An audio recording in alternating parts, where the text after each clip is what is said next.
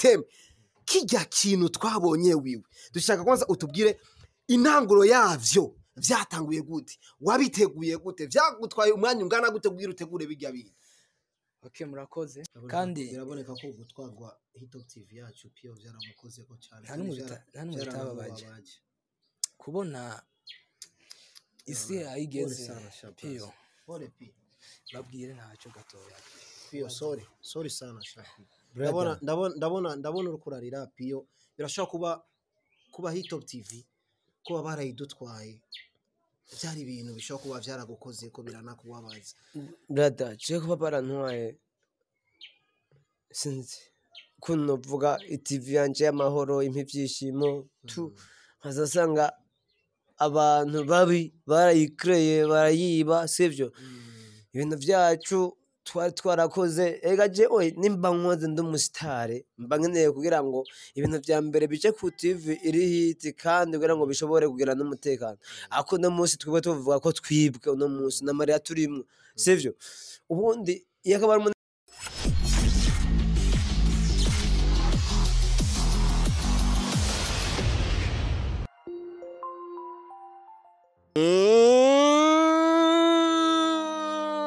Hello to everybody, mambo vipi wakunzi wa Hitop TV, mramezi neza, zile neza kumande zose z'isi. Hii ni Africa is watching us right now, all the world watching us right now. Wakunzi wa Hitop TV ni Alvin Gucci aka Janja Lao Sharpshooter, eh, the morning star na Embassy Lato Eve Bali. Wakunzi wa Hitop TV, umuka mfise ndanezerewe, ndanezerewe. Mwarashoboye kubona video aho twabonye abafansi abafansi b'urukundo bakidufise ku mutima eh? bafashe amabarabara.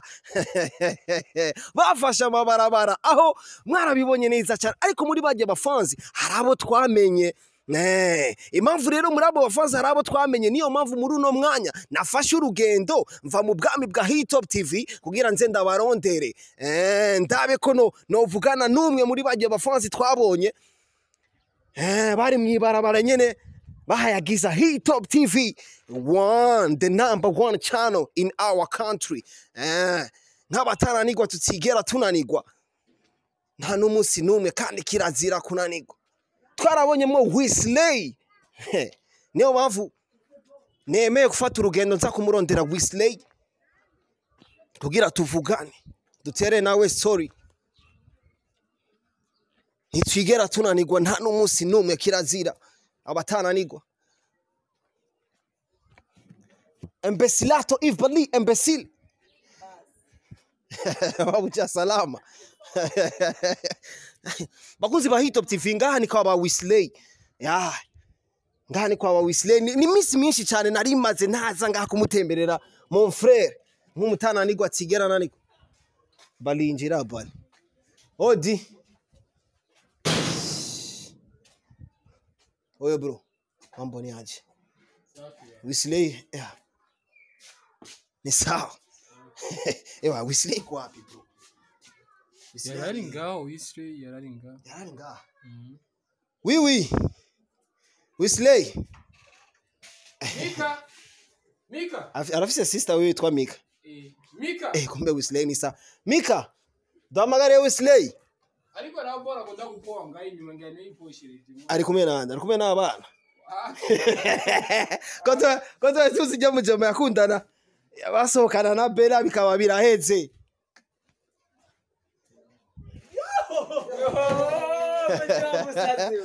abatananigwa nsigera turanigwa bali welcome my bro maze maze fresh mwenda mungwa munda basi akuze amore bore oya hesa baradutwaye cyano ariko turaca turaca turaca turacyari bazima wamubonye imbecile wamubonye imbecile ikabaza ndamutse abana je nsanze muri kumwe nabo batatu mambo. Ni sawa sheri. Umeze neza. Nyishura neza ni sawa. Eh sheri ni sawa. Umeze neza No. uko fresh. Fresh, uraberewe Mm, merci. eh nawe uri umutananiko Yego. ariko ntura nturakora subscribe kuri hitop tv kera waramaze kuyikora cyane apa basi wiwi sasa freshi eha maze mumeze fresh? Cyangwa uri Reka kurazinyira twebwe twe twari twipoweya Aha. Sinzi akana kambwiye ngo wisireye Eh. kugira ngo bajema ngo ariko baravuga ngo ibintu ngo bya tv eh bafise n'amamikro n'amakamera nyikubita uku muri portail. Nza ndakubona na mikro hit of tv ati kama kawaida erega bro je ninje ngaha ninje direct. Sasa mbajije umujama hajya ni we ampaye location ngo muri ino. Sasa mpari mu biki maze?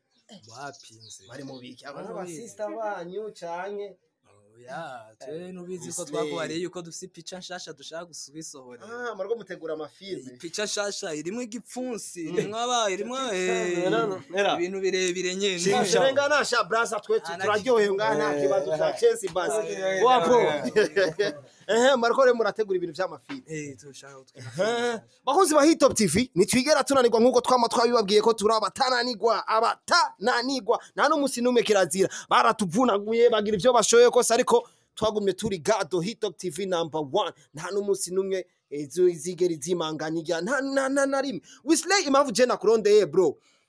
Twarabonye twara- twa- twarabonye twarabonye video. Uri kumwe n'abafanzi benshi cyane batandukanye. Muga muri rya video namenyemwo wewe ndamenyamwo na piyo kimya kimya ariko sasa Wesley eh amakuru iyi minsi kwanza? Ni fresh ndashima imana yo mu ijuru. Mhm. Mbega usigaye usohokana nande? Mm, umugore wanje umusheri wanjye sinavuga ngo ni umugore ko sinamushira mu nzu. Ubu ni diyama bobo Mm, Diyama? abatasi abo bitwa mu mu cyongereza undercover. None piyo ko twe piyo ko ciyatwenga vyata ni kwasa ni kwasa na twenze none usigaye usohokana aya pole pole pole sana pole sana yakwisabye Eh, go ubu niyo nawe twomenya? Nawe mumenya gusara hari amakuru ya Bella basi Ah, bera arakomeye hari ni umufrendi wanjye ndamukunda nawe nyine abizi. Nimuherukanye? Eh, turaherukanye nyine. Mhm. gusa araciye nk- nk'indwi zitatu ko Mm. Yego. ko yakunda no kuza ngaha kuguteramisha kubaraba mwese na famiye ubu bimeze gute? Yashiya nahagarika kweri byose oya urumva Eh. mu rugo rusigaye rufisemo undi muntu kirazira yuko abana bose baza barinjiramo. Ariko nyine sometime ahora yinjira nyenda muha karibu kubera ko ni ex wanje ndamukunda cyane. bareka kumutwibutsa none none yaragusigiye igikomere muri wewe Bella yarakinsigiye mugabo we Eh, basi ntiyaza agapfukama nganza imbabazi nza mubabarira ntiyaza kubivuga ajya kubivuga akabahamagara nka kurya yaga yaradusuzuguye twebwe yari yatumye nuratanga imbabazi kwa Bella Ah, Wisle ko eh. yamaze gutanga imbabazi ubu Wisle ko ari fresh. Eh, nanjye narababaye kumurusha rero Um, ariko gusa niyo guhamagara. Akavuga ati pok Mhm, ndagomba kumusaba imbabazi jebera mhm, turi kumwe na wusire turi kumwe. Mhm, kubera yadusuzuguje nk'abantu b'abagabo twatiwe. Mhm. ariko bizoba fresh. nzoca ndamubabarira. safi. Wiwi yo. ndashaka rero umbwirire sasa twinjire indani mu masisiteme kijya kintu twabonye wiwe dushaka kwanza utubwire intanguro yavyo. Vyatanguye gute? Wabiteguye gute? Vyagutwaye umwanya ungana gute kugira utegure bijya bintu okay murakoze. Canke ho ni we wabiteguye canke vyari bimeze gute?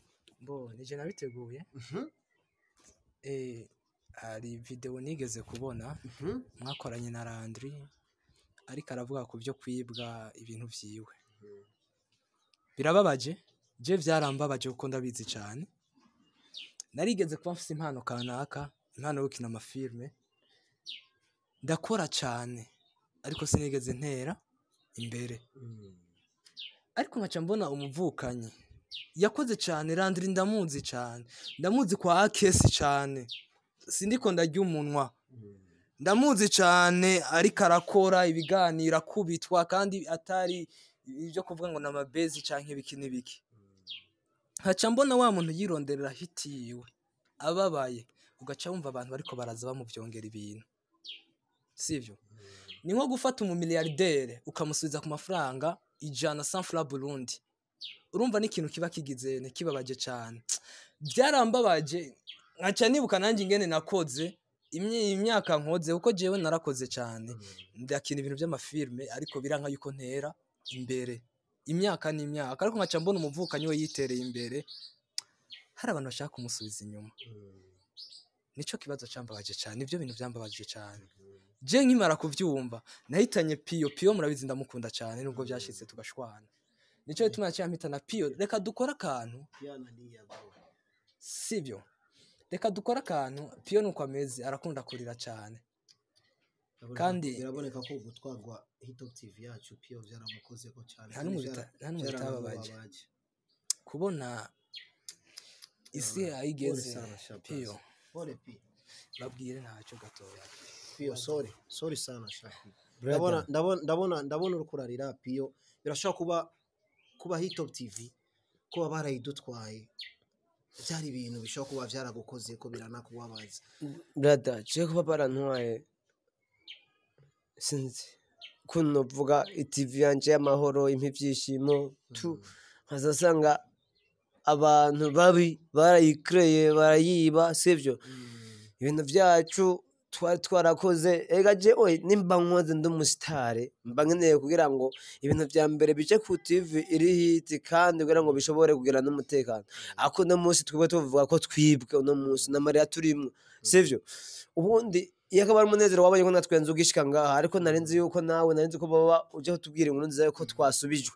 Ariko ntitwasubijwe ni kwa kundi kwiremarema ariko uno munsi turababaye cyane Nivyo- Boja nivyo- hit top nivyo- TV ni- ni- ni Umve, Hit Top- ni Hit Top ni TV. Hit Top TV nyene ubu yayo. eh Kuko ni- nda- gusa ikintu cyanyoye nayo- basi ndarinze gusa mbari sawa ntayo ntabwo badusubije ijya kuko ijya yaragiye burundu. Mwarabonye ko twaciye dukereya iyindi twaciye twugurura iyindi. Muga ndo ivo byarashitse sawa Iyo jewe umviriza iyo nimero ya mbere mwaciye muzana boja hit top tv umviriza jewe. Arakunda kuyenda cyane piyo kuri ako kantu ndabizi mugabo Top kuba ni umubabaro ariko- mwinshi mfise uno munsi Mm, bazi. Usanga erega unagucanganya. nakuba ari kubabara sivyo hari ikintu kiba kigufitiye akamaro mu gihe kibuze.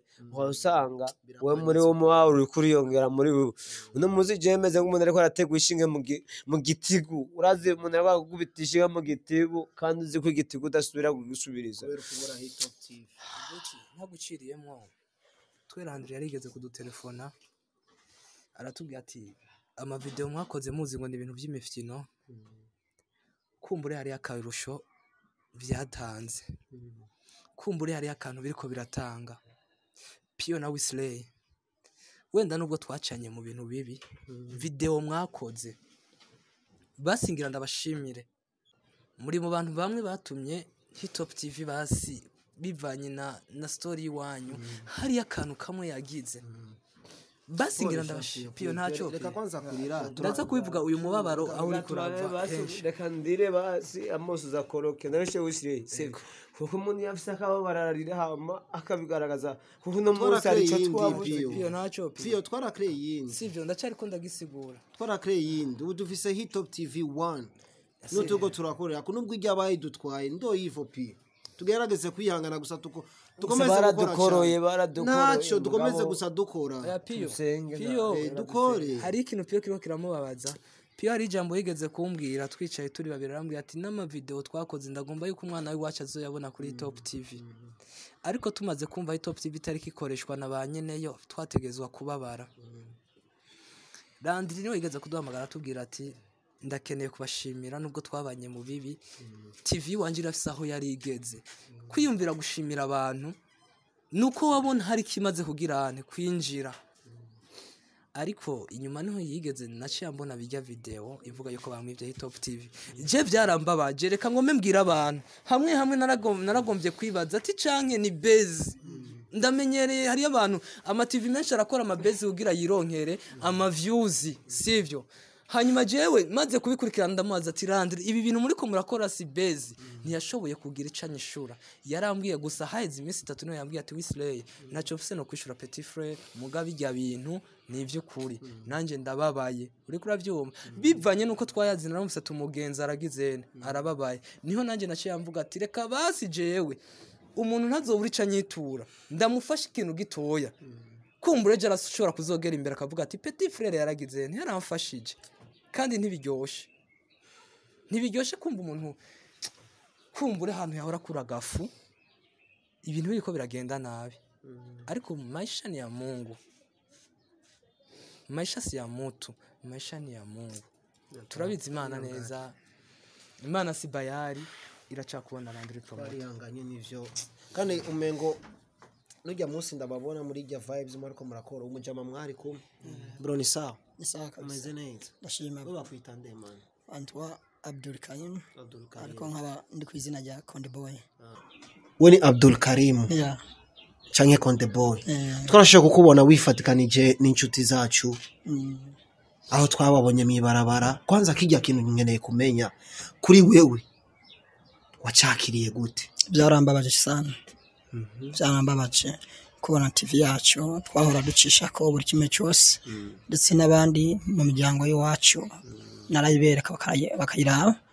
Ariko numvise ati bamaze kuyugara bakayishyikiriza abandi. Byaratubabaje sana. Gushyika yaho no muhira bambaza ati mbega ya tv wahora utwereka ko ibintu bimeze neza. Ko batagikora. Byagenze gute? Ndavuga ati rinda nzosubira kubaza izindi nshuti zanjye tu- tujyana tukaraba. Suye mbaza ukuntu byabaye uko byabaye ni ho nashikira umugenzi wanje Israel eh, no kugira mbabare sana byabaye kuri Israel we yambwiye ati TV yacu bayugaye birambabaza sana ndamubeshye byagenze gute? Hamwe gushika aho ndamufata mu mashati mvuga ati ni iki cyabitumye? Eh nindi yabikoze? Hamwe ndavuga ati mwopereza basi wabikoze. Ntavuga ati wapi kugera isaha nta muntu turatora. Ni ukuri byarambabaje sana byarambabaje. Urabona n'umugenzi wacu ngaho akagumarira eh, yashavuye sana. Natwe twarashavuye ndetse ugwaruka rwose rukurikirana iyo tv bababara sana. Wesley kugira ndangize ko ndabona n'umwanya atari kirenga cyane nyine gusa kumenya bijya bintu wakoze wabikoze ufise intumbero iyihe? Washatse kwerekana iki mu bantu? Bo nashatse kwerekana icya mbere cyo cyo n'urukundo kuko n'ijambo ry'imana rivuga ati ingabire iruta izindi ni urukundo. Hanyuma hitop tv hitop tv niyo tv ya mbere je nakunze. Kandi niyo tv ya mbere twacanye mu bibi byinshi ndibaza murabizi aho twagiye turashwana na wewe ariko niyo tv itigeze intere imyereka umugo- nk'umugongo ni na yo tv kugeza ubu izina rya wisleye niyo tv yambashirije kumenya wisley mbe ni muntu ki? Niyo tv yashoboye gushika imbere y'umuryango irasigura wisley ni kuvuga rujya rukundo banyeretse. Nanjye ni narabuze ikintu nobitura. Narabuze ikintu nobitura ndavuga ati n'igihe ni- n'igihe gihe nanjye nzogira nzoshimira hitop tv ariko ndashaka sinari ndabyiteze yuko imana yabicisha muri ino nzira. Ariko nanjye nagombye kwereka urukundo hitop tv kandi nagombye kwereka umukira muntu wese urukundo. Kandi ndanasaba n'ikintu cyo twese abarundi ibi bishikiye ujya natwe bizodushikira. Kanaka kubukira muntu kanaka. Aho twese twari dukwiye kujya mu mabarabara. Iyi ni tv nziza. Tv ishobora kwemerera igafasha impano z'uburundi. Ibiki byose ndakunda kubiraba. Nubwo je mutaraza kunsapotinga mu tuntu n'utu n'utundi. Ariko je ndayikunda. Hari byinshi mwafashije. Tv ishobora gusapotinga ikintu kanaka twese twari dukwiye kuyikunda kuri wewe ntiwiyumvira yuko bijya bintu wakoze bishobora kuzana intambamyi usanga birakuzaniye ikibazo kujya mu ibarabara ugafata abana n'abandi ukabashyira mu ibarabara mufise ivyapa vyanditswe ko hitop tv kuri wewe ntiwabona ko bishobora kuzana intambamyi? Bo naravuze ati ni manifestation. Bo iyo umutima uri mu kuri cyangwa umuntu ari mu kuri aba ari kumwe n'imana yo mu ijuru. Njye navuga ati ikintu ngiye gukora ni ikintu ico. Kandi nkitangura kugenda hari n'abantu twavuganye basanzwe bajejwe umutekano muri quartier. Ndavuga ati ikintu ngiye gukora ni ikintu nyaco nibyasabwa yuko je ndagihanirwa nzogirane nzogihanirwa. Ariko ico ngiye gukora cyo cyo ndabizi ko nshigikiwe n'imana yo mu ijuru. Yego bakunzi ba hitop tv ntitwigera tunanirwa nk'uko nyine twama twabibabwiye. Kugira je mfate urugendo nabibabwiye ko nari mfashe urugendo nje kumuraba ino nshuti yacu bivanye n'irya video twabonye aho twabonye yari mw'ibarabara ari kumwe n'ibibondo vyinshi hamwe n'aba bajama nyene bari kumwe ngaha ugira ngo ni umubabaro bashatse kwerekana kandi ah, jeje hari igihe hari igihe namafata mikro nkavuga ariko nibutse ku bintu vyatubayeko nyumva nyine umubabaro nyine udasanzwe. Piyo muri uwo mwanya ndiko ndamubona Pierre Kararira. Yibutse ivyo twakoze kuri Hitop TV ibiganiro vyinshi twakoze nk'uko nyene wabivuze yuko yarazi yuko n'abana biwe Biwe. azobereka banaraba ibintu twa- twaciyemwo ariko igiye gutangura gushasha. Ni cyo kintu cyamubabaje. Byo munsi wa mbere yararize arambwira ati none bya biganiro byacu byose twakora ntibizokwigera biboneka. Nabwira ati bagiye gutangura gushasha cyaramubabaje cyane rero. Kandi nibaza piyo bizohera ibiganiro turacakora tuzoguma dukora n'ibindi. Si uko nyine basi yego. Nkeneye kumenya basi feedback wa- waronse mumaze gukora bijya bintu. Eh, feedback mwaronse yani abantu uko abantu bavyakiriye eh, petete baragutelefona bakubwira Wesley ivyo nibiki wari wakoze? Wesley mbe nitabi wari wanyoye kugira uje mwibarabara. Ndazi ama message nkaya cyangwa ama appel nkaya urashobora kuba warayaronse. Tukeneye kumenya feedback waronse. Mbo ibintu byose uzokora ntuzokwigera ukundwa na bose kandi ntuzokwigera urawankwa na bose. Mbo ni cyo kintu nkibwira abantu. Abantu b'iwacu ngaha mu burundi baracyafite ibintu byo kwiyugara mu mutwe. Reka ndakubwire amapere menshi igihe narayabonye ndaronka ibintu byinshi. Hari n'abandi n'abandikiye mutama baranamutelefone mbe muze ujya mu ngo wawe asiganwa amamogi. Mbe mu muze ujya mu ngo wawe ibintu biguma bica ngaho ku marezo sosiyo niwo mutwara ahantu ukamufunga ukazomubika basukara abantu mubika. Muga jewe icyo nasiguriye mutama na mere twaricaye turayaga ko n'abavyeyi kandi umuvyeyi arumva ikintu nakibasiguriye ngo sinabuze kuronka amakomantere mabi kandi sinabuze no kuronka meza. Gusa mabi yabaye mabi cane. Eh, Pio. Ego. ihangane natwe twarihanganye pi wihangane mon frère yego ariko vyaraheze. Uwumva ugatari karangaburira. Kandi nzi ko umutima wanjye ko nakwari je umutima wanjye umbwira ati kora iki kintu. Ndagikora kuko n'umutima wakintegeze kandi umutima ukorana n'imana yo mwijuru umutima ntukorana n'umwana w'umuntu nuko nyene je nte- ni iki wosaba je mu- mbabarire je ndabizi neza. Wabikoze wese. Imana imana urumva imana ukuntu iyo bikora. Sibyo bazi jewe zo kuvuga ngo ndiko ndaca urubanza. Izo kubita ifimbo. Izo kubita ifimbo urabona ibakubita ifimbo y'umuriro. Niyikonze ishaka yishireko. Rero urumva niyo umunsi arabica iturekako kubera ko baratubabaje mani Wesley kugira turangize. Ni igiki wosaba abarundi bari mu gihugu n'abarundi usanga bari mu mahanga n'abandi nyene bari mu bindi bihugu bitandukanye. Ni igiki wobasaba bo ikintu kimwe cyo cyo nabasaba nuko nk'uko nama mvuga ibi bibaye ikibazo iyo kije. Uyu munsi kiziyeho top tv ejo gishobora kuza irindi tv ntashatse kuvuga kanaka ejo gishobora no kuza mu muryango w'iwawe ntawe umenya ikigerageza iyo kivanana. Kuko yaba tuzi iyo kivanana twocira inze kare. Hanyuma ikintu nosaba nk'uko mwabivuze ahubwo nabasabira yuko abantu bagibo bakurikirana cyane. Ubu uye nk'uko musanzwe mubizi bari bakora kuri top tv namba wani mubakurikirane. Hitop tv wani ahubwo babakurikirane. Babakunde kurusha. Sibyo? Ndabakunda cyane. Muri twe twobitwa limiere limiere di burundi. Limiere di monde. Sibyo? Muri umuco w'abantu. Muri umuco w'ibintu byinshi. Hari benshi cyane. Hari byinshi twigira kuri mwebwe. Ahubwo abantu babakurikirane banabakunde. Tubafashe dufashanye twese. Imana ibahezagire cyane bakunzi ba Hitop TV yaduye yasavye ikintu gikomeye cyane nanje nongera kandi nsubira gusaba abantu muri muri Saudiya Oman Qatar Dubai South Africa USA hose na hose hose na hose mudukurikirana. Please please turazi ko mudukunda cyane kandi natwe turabakunda cyane. Nimuhagarikire ngaho gukora subscribe. Kora subscribe kuri channel ya Hitop TV kandi hari akantu mukunda kwibagira. Hari agakengeri kaba kari hajya kora kuri kajya gakengeri karakwereka inzira ujya ucubwira ahantu hi- ahantu handitswe kuri tut. Kugira ibiganiro vya Hitop TV mubandanye mubikurikirana Hitop TV 1 kuko turugwaruka tugikeneye ko mwodushigikira. Wesley reka ndagushimire cyane bro. Namwe imana ibahezagire yego. Nyatare sana. Piyo reka ndagushimire cyane bro. Ndabashimiye. Reka dusangire umubabaro hama imana izobuduhoreze hamwe kuko tubabaye twese. Ariko igikuru imana niyo nkuru kabisa. Kandi icyo abafana bacu bogira sinzi ko baba baravuga avuga ateme nanjye mvuga ibisigaye. Bakore subscribe kuri channel ya Hitop TV hama 1 bafyonda no ku gakengeri ego. Hama baje no kuri sinzi facebook barajya ko no ndibaza kuri Facebook hose ni Hitop TV bagire 1 subscribe hama sabone ego.